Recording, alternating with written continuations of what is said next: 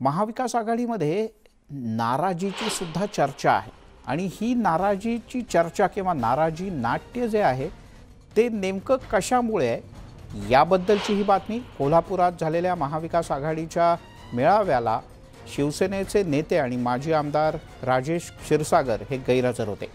त्यामुळे क्षीरसागर अजूनही नाराज असल्याची चर्चा सुरू आहे. कोल्हापुरात झालेल्या मेळाव्याला हसन मुश्रीफ सतेज पाटील यांच्यासह अरुण दुधवडकर यांनी हजेरी लावली.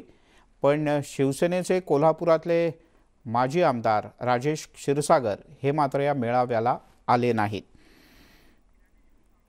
आणि ज्ञानेश्वर साळोखे आपले प्रतिनिधी आपल्यासोबत आहेत. ज्ञानेश्वर दोन दिवस नॉट रिचेबल असलेले राजेश क्षीरसागर आता किमान रिचेबल आहेत का? अजूनही नॉट रिचेबलच आहेत?